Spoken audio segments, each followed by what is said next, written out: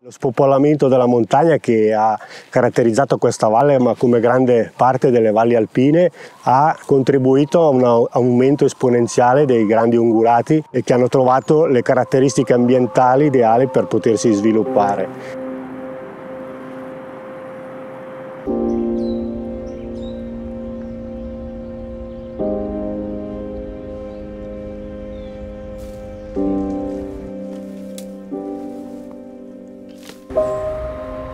Qua in Val Boianco è stato una delle prime valli ossolane dove sono arrivati i cervi, hanno trovato le caratteristiche ambientali eh, ideali sia per il periodo estivo sia per il periodo invernale,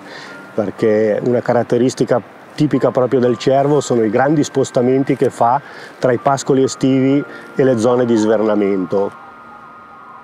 Qua a Boianco abbiamo avuto la fortuna di avere quella oasi faunistica attiva ed è una zona che è stata prescelta come area di bramito per la specie. Il bramito è appunto questo rituale amoroso eh, che avviene tra la metà di settembre e la metà di ottobre, tendenzialmente nei primi giorni di ottobre, quando i maschi riproduttori si eh, scontrano tra di loro per acquisire questo harem di femmine, quindi quel gruppetto di femmine che devono essere accoppiate. Viene così definito perché in quel periodo il maschio emette un verso tipico che si chiama appunto bramito, un vocale diciamo così che dimostra la potenza dell'animale. Eh, non tutti i maschi eh, bramiscono, solo quelli che sono pronti per l'accoppiamento. I giovani maschi tendenzialmente in quel periodo vengono isolati se solo osano avvicinarsi al gruppo delle femmine vengono prese a cornate dai maschi dominanti. Succede che a parità di forza i maschi dominanti entrino in battaglia e a volte si arrivi anche a causarne la morte. Bisogna tenere conto che per esempio in questa osi di Bramito gli ultimi conteggi noi eh, arrivavamo ad oltre il centinaio di animali in pochi ettari di territorio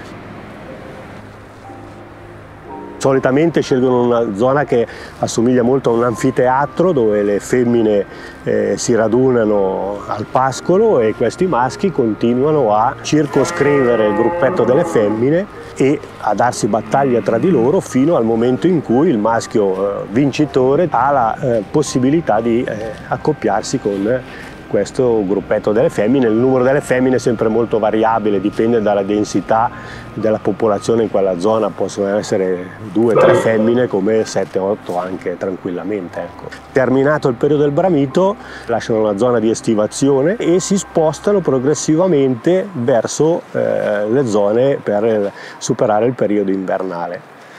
La posizione qua presente qua a Boianco dà anche la fortuna di avere una localizzazione ideale per poterli osservare perché basta mettersi di fronte, quindi eh,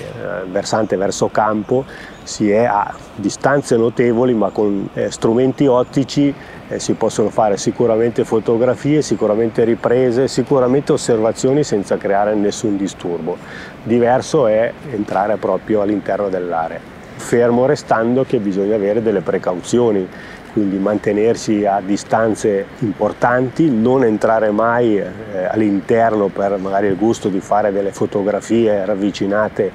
perché creare un disturbo all'interno di un'area di bramito, qualunque esso sia, un disturbo da parte dell'uomo, significa in pochissimo tempo creare l'abbandono di quella zona. Il cervo è una popolazione molto sensibile, quindi se viene disturbata soprattutto in quel periodo, abbandona quell'area e eh, difficilmente per anni ritornerà, andrà a cercare eh, diciamo, un'area adatta altrove e questo è per una vallata come la nostra sarebbe sicuramente un danno enorme perché vorrebbe magari dire che la prossima area di Bramito vanno a costituirla in Svizzera e non più dalle nostre parti, quindi si spostano